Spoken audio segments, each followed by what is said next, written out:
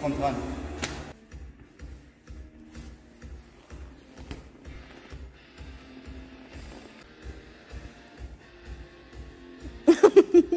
Nikolai, ich mache seit ein paar Monaten das BJJ Basic Training hier im Alpha Team.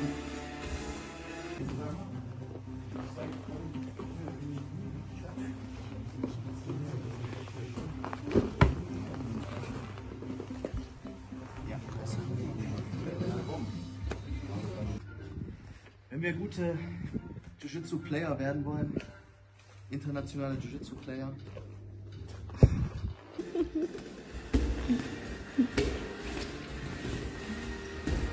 wissen wir natürlich vorher schon, was mein Gegner macht. So, das heißt, wenn ich das hier angreife, weiß ich schon, dass Daniel irgendwann mich stauchen wird. Ich lasse das also zu. Ich lasse Kommt zum Jiu-Jitsu.